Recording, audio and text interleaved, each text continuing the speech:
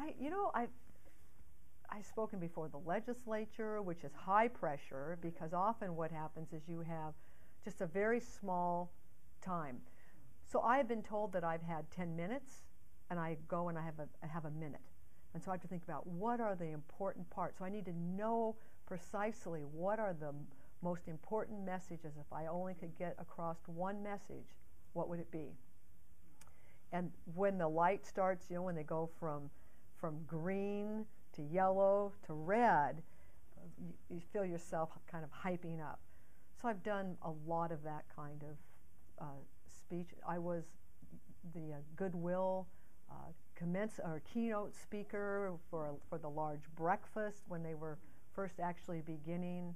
I've done a lot of different kinds of presentations. I think the ones that I enjoy the most are those that allow me to to teach in addition to just giving a speech.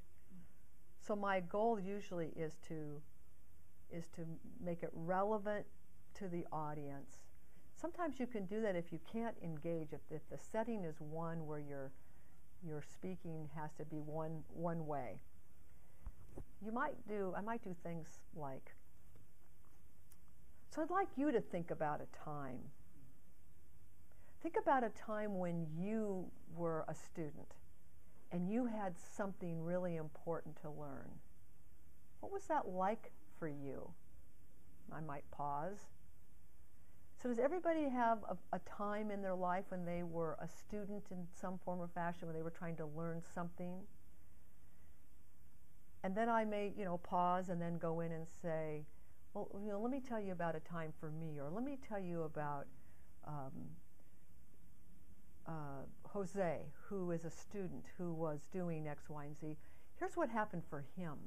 Can do any of you can relate to that? And so, even though I might be giving a presentation, what can I do to engage you and bring you into the conversation, and and hold your attention, and create some interest? That makes it about you.